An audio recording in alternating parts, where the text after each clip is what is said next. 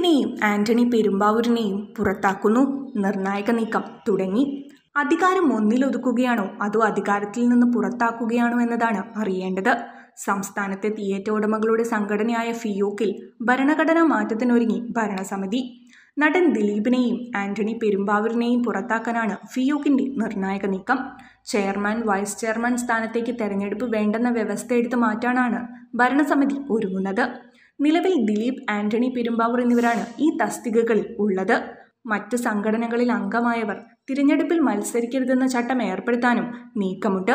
ഇത് ദിലീപിനും ആന്റണി പെരുമ്പാവൂരിനും തിരിച്ചടിയാകും. ഇക്കാര്യത്തിൽ അന്തിമ തീരുമാനം ഈ മാസം മുപ്പത്തി ഒന്നിന് ചേരുന്ന ഫിയോക് വാർഷിക ജനറൽ ബോഡി യോഗത്തിൽ എടുക്കും. രണ്ടായിരത്തി പതിനേഴിൽ സംഘടനാ രൂപീകരണത്തിന് മുൻകൈ എടുത്തവരെന്ന നിലയിലാണ് ദിലീപിനെയും ആന്റണി പെരുമ്പാവൂരിനെയും ആജീവനാന്ത ഭാരവാഹികളാക്കിയിരുന്നത്.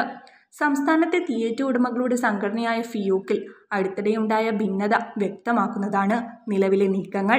രണ്ടായിരത്തി പതിനേഴിൽ ഫിലിം എക്സിബിറ്റേഴ്സ് ഫെഡറേഷൻ പിളർന്നാണ് തിയേറ്റർ ഉടമകളുടെ ഇന്നത്തെ സംഘടനയായ ഫിയോക് രൂപീകരിക്കുന്നത്.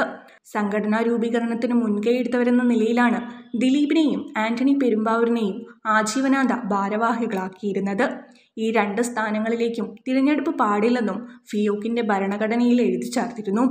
ഈ ചട്ടം പൊളിച്ചെഴുതാനാണ് ഫിയോക് പ്രസിഡന്റ് വിജയ്കുമാറിന്റെ നേതൃത്വത്തിൽ നീക്കം നടക്കുന്നത്. മോഹൻലാൽ ചിത്രമായ മരക്കാറിന്റെ റിലീസുമായി ബന്ധപ്പെട്ട് ആന്റണി പെരുമ്പാവൂരും ഫിയോക്കുമായി ഉണ്ടായ അഭിപ്രായ ഭിന്നതയുടെ തുടർച്ചയാണ് നിലവിലെ നീക്കത്തിൽ എത്തി നിൽക്കുന്നത്.